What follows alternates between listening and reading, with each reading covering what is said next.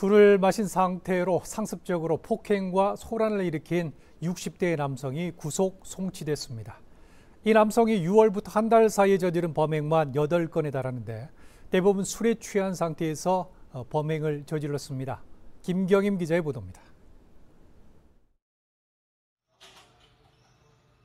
응급실 침대에 누워있던 한 남성.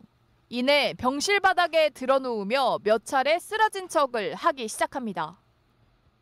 삿대질을 하며 갑자기 일어나더니 의료진에게 주먹을 휘두르며 달려듭니다. 지난달 26일 서귀포 시내 한 병원 응급실 CCTV 영상입니다. 술을 마신 상태로 상습적으로 폭행과 소란을 일삼은 60대 남성이 경찰에 구속됐습니다. 경찰에 따르면 피의자인 A씨는 지난달 14일 제주시 탐라문화 광장에서 쓰레기를 무단 투기하다 적발되자 범칙금을 부과하려는 자치경찰을 폭행한 혐의를 받고 있습니다. 당시 A씨는 술에 취한 상태로 전해졌습니다.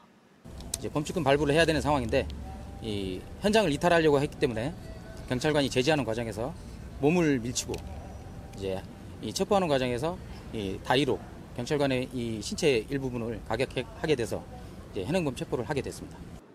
피의자는 곳곳에서 계속해서 범행을 이어갔습니다.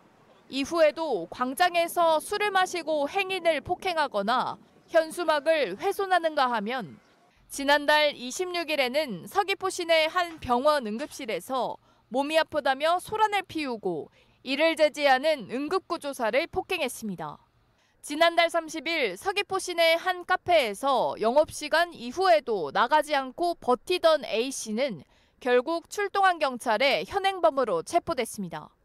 경찰에 붙잡힌 이후에도 유치장 유리창을 훼손하기도 했습니다. A씨는 지난 6월 25일부터 한 달여 사이 8번에 걸쳐 각종 범행을 저질렀는데 대부분이 술에 취한 상태였습니다. 경찰 조사에서 A씨는 모든 혐의를 부인한 것으로 알려졌습니다. 경찰은 CCTV 분석 등을 통해 혐의를 입증하고 A씨를 공무집행 방해와 응급의료에 관한 법률 위반 등의 혐의로 구속해 검찰에 송치했습니다. 국민의 일상생활을 위협하는 악성, 폭력성 범죄에 대해서는 지속적으로 단속을 하고 있습니다. 특히 그 고질적이고 상습적인 주치폭력배에 대해서는 구속수사를 원칙으로 하고 있습니다. 최근 3년 사이 제주에서 검거된 폭력사범은 1만 7천여 명. 이 가운데 32%가량이 술에 취한 상태였습니다. KCTV 뉴스 김경임입니다.